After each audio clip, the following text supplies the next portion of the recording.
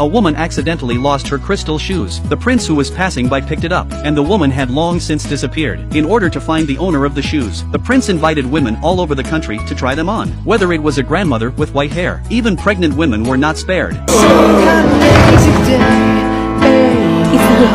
The result is that no one can wear the crystal shoes, and at that time, the real owner of the shoes had already been locked up. A woman named Mary originally had a happy and happy family, but when Mary was seven years old, her mother died of illness. Her father, a businessman, brought Mary up by himself. Soon afterwards, Mary received an unexpected guest. It was her father's new girlfriend, a woman who looks noble, but she has evil intentions. Her two daughters are even more sarcastic. The father had to go away for business. Mary had just sent her father away. The three people behind her revealed themselves. The two daughters took over Mary's big bed. The stepmother even sent Mary to live in the dirty attic. The attic was also home to several rat brothers. Mary was kind by nature. She would often share her food with them. Her father was Mary's only solace. Mary wished her father would come back sooner. Instead, she waited for the news of her father's death. Mary was so sad. She cried alone at the door all night, without her father to rely on. Her stepdaughter became more reckless. Mary was treated like a servant. She ate simple leftovers and leaves. But even so, Mary was still generous enough to share with a few mice. Even because Mary did not make breakfast in advance, was humiliated by three people in turn, money well made ha ha ha. Dirty Ella. Cinderella.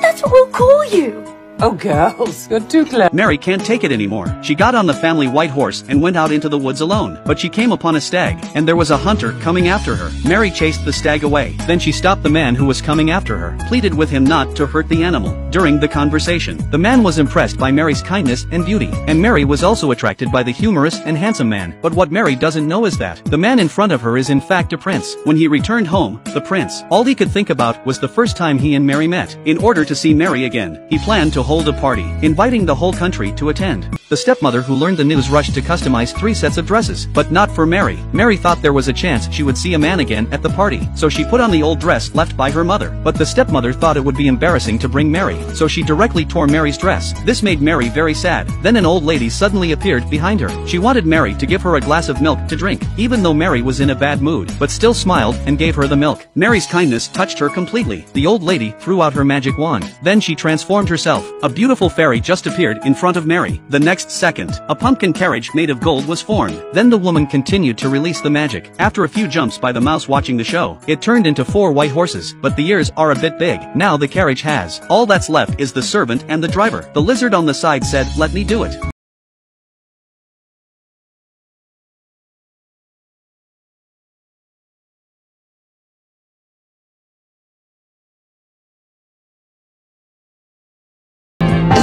Now all that's missing is a driver. The goose rushed away and said I won't take this job. I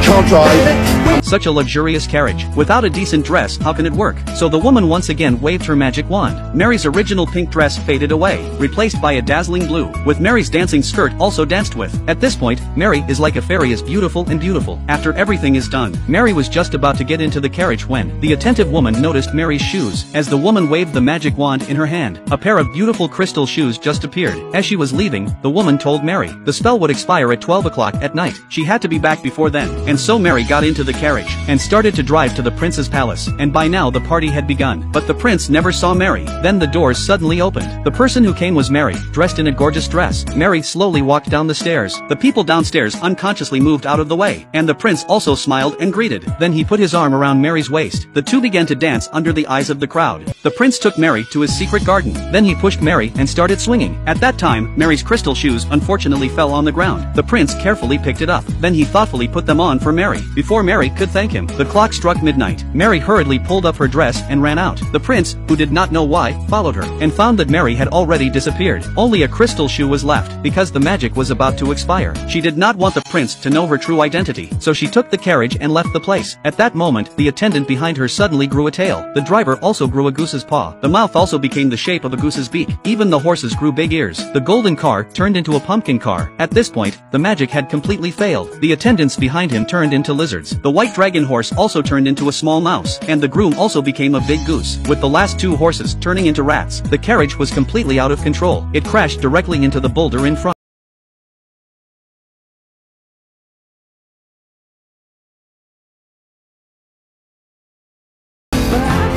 Good thing there is no danger. Cinderella put the mouse into her crystal shoe. When she got home, she hid her crystal shoes, but the cunning stepmother found out. She smashed Cinderella's crystal shoe and locked her up. On the other hand, in order to find Cinderella, the prince began to go from house to house to let women try on the crystal shoes. In order to be able to wear the crystal shoes women are also desperate. They exerted all their strength. Some even put oil on their feet, but no one can put on. Now there is only the last one left, and here was Cinderella. The stepmother's two daughters were overjoyed. They went over to try them on, but no matter how hard they tried, they still couldn't get it on. Then the soldier asked the stepmother if there were other girls in the house, but the stepmother said no, and the Cinderella upstairs did not know. She just sang her own song. The little mouse on the side could not stand it anymore. He tried to open the window. Let the soldiers hear Cinderella's singing voice. The fattest one saw this and also dropped the food in his hand and joined in, and so the window was opened. The soldier's attention was successfully drawn to the window. The prince hurriedly asked his soldiers to invite the woman down from upstairs. Thus Cinderella, led by the soldiers, came to the prince, put on the crystal shoe that should have belonged to him. In the end, the two people who were in love with each other finally came together.